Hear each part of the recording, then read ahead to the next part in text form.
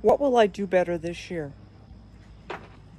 My tradition is to spend the secular New Year with my niece and her two children. We don't make New Year's resolutions, but we did talk about things we were going to try to do better in 2020. Mine was to be kinder. And my niece looked at me and said, You're one of the kindest people that I know. I don't understand.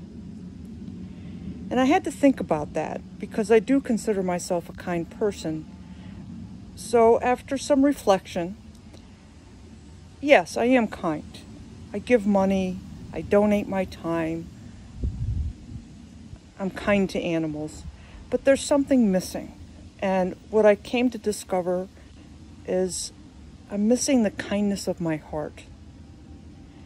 And it's, it's kind of hard to explain.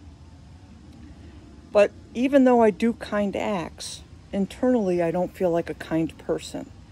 And what I realized is I've gotten caught up in the negativity of COVID 19, the negativity of the current political standoff between Republicans and Democrats. Um, and, and so there's a lot of, I don't want to say hatred in my heart, but there's a lot of negativity in my heart.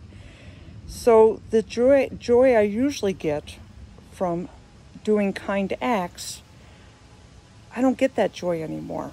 And, and so what I have to do this year is I have to get the kindness back in my heart and not get caught up in all the negativity.